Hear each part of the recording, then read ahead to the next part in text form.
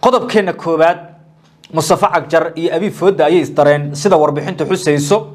Mustafana wuxuu hadda damacsan yahayba aba uu qaatay go'aano qaraar oo uu ku kasbanaya dadkiisa iyo deegaankiisa ugana hortagaya damaca ra'iisul wasaare abi see wax u dhaceen haddaba horey waxaa u dhacay kulan dhex maray xisbiga barwaaqo xubnaha ugu sarreeya mustafa waa looga yeero uu ka qayb galay laba qodob ayaa loo soo jeediyey ninka la yidhahdo mustafa cagjar kow qodobka koowaad in mustafa xafiiskiisa uu ka raro magaalada jigjiga ee dowlad deegaanka soomaalida geeyana magaalada goday ee ka tirsan gobolka shabeelle una dhow xuduudda soomaaliya.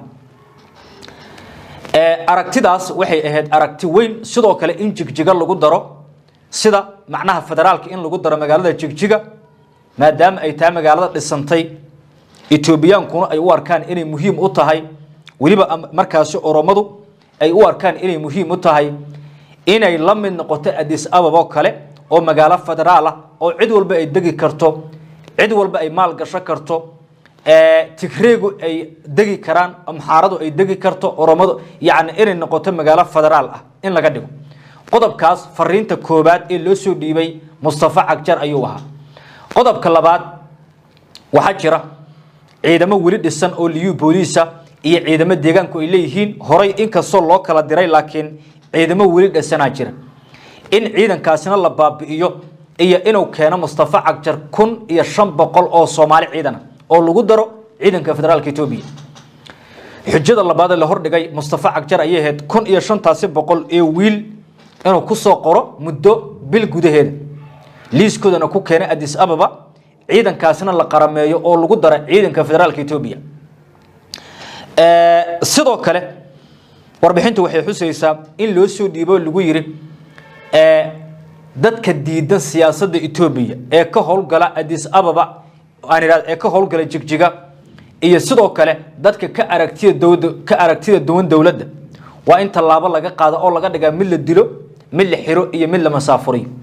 Saddextaas in loo qaybiyo ku darso waxaa sidoo kale la soo warinayaa in qodobadaas markii loo soo dhiibay mustafa uu ka soo laabtay jigjigana la yimid wuxuu isagu yeeray shir inta taladu ay ka godo oo wasiiradu ay qayb ka yihiin oo odayaal dhaqan ay ku jireen oo mas'uuliyiin kale iyo la taliyaal ay ku jireen ayuu uga yeeray xafiiskiisa wuxuu u sheegay fariinta uu abi u soo dhiibay iyo sidoo kale waxa laga yeelayo abi intaas uga maharina wuxuu deg deg u soo diray taliyaha militariga ee birhanu julan ninka lagu magacaabo iyo sidoo kale saraakiil ciidan oo ka idman xafiiska abi ayaa la soo diray jigjiga yimaadeen. Mustafa cagjar marka shirkii wuxuu ka sheegay fariimaha looga soo dhiibay etoobiya adis ababa looga soo dhiibay oo kun iyo shan boqoloo wiiloo ciidan in laga rabo in caasimadda jigjiga ay noqon doonto caasimad federaal ah oo ay wada degaan dadka etoobiyaanku in caasimadda deegaanka loo raro magaalada goday oo la geeyo halkaas. Sidoo kale in la tirtiro la baabi'iyo ciidamada deegaanka. Ciidanka la dhisayana ay noqdaan ciidamo federaalku ay markaasi qalabaynayaan. Sida warbixintu xusayso mustafa waxa uu abi intuusan ka soo bixin adisaba ku yidhi maxaad noo ogosho in ku bedelanayna? Wuxuu u sheegay beresentage weyn in laga sii doono batroolka qaadka iyo qodobo kaloo waaweyn in dhaqaalo loogu ururi doono wadatashigaasna uu markaas isagu kula laaban doono la taliyaashiisa birhano juro ninka lagu magacaabo iyo wafdi uu hogaaminaya ayaa yimid adis ababa si ay u fuliyaan amarkii abiyi uu soo siiyey mustafa cagjar iyo sidoo kale heshiiskii lagu soo galay adis ababa weliba si deg dega in loo fuliyo ayuu qorsho ahaa. Shakiga marka abiy uu qabaa muxuu yahay abiy siduu etoobiyaanka kale u aaminsan yahay inay etoobiyaannimada u dhima karaan ma aaminsana laleh in soomaalidu ay u dhima karaan etoobiyaannimo sababtay tahay wadankii ay ka soo go-een ayaa diris la ah oo soomaaliya amxaaradu iyagu waa budogooni u tuman. Tigreguna waa budogooni u tuman. Oromadana markii abiy uu xilka qabsaday ayay awood soo yeesheen kor soo kaceen. Markii hore waxay ahaayeen dad iska berimageeda sida markaasi loo isticmaalo inkastoo ay tiro badnaayeen sida marka warbixintu xusayso abiy wuxuu aaminsan yahay haddii xaaladda etoobiya ay noqoto baraka male oo tigregu ay go'aan oo amxaaradu ay go'aan in soomaaliduna ay dib ula midoobi karaan soomaaliya aba ay heli karaan madax banaani kale oo sida maamuladaasi kale go'i karaan. Yacni marka qorshahan waa qorsho uu doonayo in gobolka soomaalida lagu daro gobolka oromada ajendaha ugu weyn aba aragtida ugu weyn ee uu qabo waa middan in haddii etoobiya ay kala godgodo oo sida hadda qorshuhu uu yahay ififaala aba saasaanta ka muuqataba ay kala go'aan in oromadu ay noqoto mid gumaysato soomaalida mar kale oo gobolka soomaalida oo dhan oromadu la wareegto oromada iyo soomaaliduna ay noqdaan hal dowlad oromaduna ay noqoto dowladdaasi cidda gacanta ku haysa. Waa saasaanta abii iyo ififaala uu damacsan yahay weeyaan arintaasi marka waxaa la yidhi saddex bilood gudahood in lagu dhaqangeliyo in caasimadii la raro in ciidankii la soo qoro in xitaa magaca soomaalida la bedelo. Horey ayaan ku sheegnay wararkeenii hore in calanka soomaalida la bedelo in afka soomaaliga la bedelo afka oromada lagu markaasi faafiyo deegaanka soomaalida. Qorshuhu waa intaas.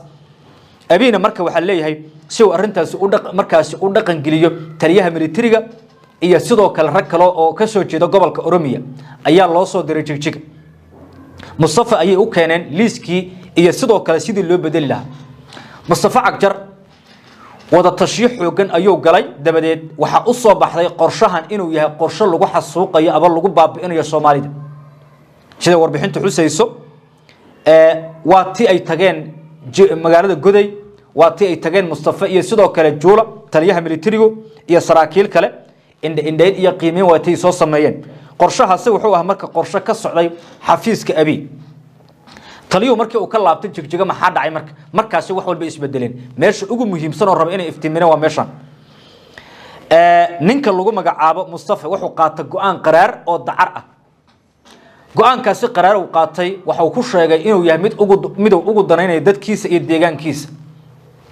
Wuxuu qadka telefoonka ku xiriiray ra'iisul wasaaraha etoobiya abi kulan qaatay sida xogta nagu soo gaarto saraakiish nala wadaaga ay noo sheegeen kulan qaato ugu yaraan lix saacadood oo qadka telefoonka ayaa dhacay oo laga soo qeybgeliyay dhinacyo kala duwan oo xubnaha xisbiga barwaaqo ugu sarreeya b b laga soo qeybgeliyey oo sidoo kale odayaal dhaqan xitaa la keenay ayaa dhacay. Kulankaasina wuxuu ku soo dhammaaday natiijo la'aan iyo kir iyo kir ayaa lagu kala tegey fartaa doonto qor ayuu yihi mustafa cagjar tallaabada doontana qaad inagu ma samay karno qorshaha aad doonaysid. Kow caasimadii marari karno. Caasimadan waa caasimad soomaaliyeed. Waa magaalada jigjiga. Halgamayaashii taalooyinkooda ayaa ka dhisan. Qorshahaasina marnaba ma dhaqan gelayaan oo ma soconayaan.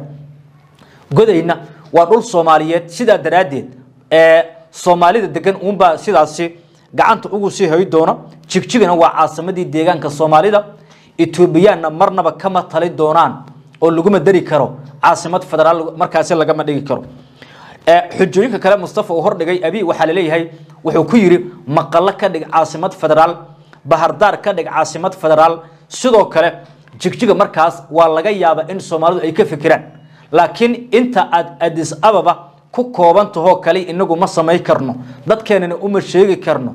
Aragti noocaas kamana gadi karno arintaasi marka waa laysku mari waayey in caasimadii la raro jigjigo oromadu ay qabsadaan. Yacni abi waxau rabay jigjigo in oromadu ay qabsadaan. Xitaa federaal qorshahaasi waa qorsho lagu suuq geynayo kaliya qorshuhu waa in jigjiga oromadu ay la wareegaan la ballaariyo sidaas daraaddeedna qorshahaasi uu noqdo qorsho ka dhaqan gala ee gudaha aragtidiisa weeyaan. Mustafa cagjar marka waxaa haddana laysku qabsado waxaa lagu yidhi keen ciidankii lagu diray kun iyo shan boqol oo wiil oo soomaaliyeed ku soo daray ciidanka federaalka etoobiya mustafa cagjar arrintaasi waa ignor gareeyo waa diida iyadana. Waxa uu yidhi ma samay karo etoobiya xilligan inaan ciidamo cusub u qoro idinku soo dirsada. Dad idii qora oo dadka soomaalida ku qanciya anigu kuma qanci kara soomaalida inay xilligan xasaasiga ay ku biiraan ciidanka etoobiya qodobka kale la isku qabsaday mustafa markii intaasi laysku mari waa oo kulankii uu wir iyo wir ku soo dhammaaday wuxuu dib isugu yeeray ciidankii soomaalidu ay leehday dowlad deegaanka horey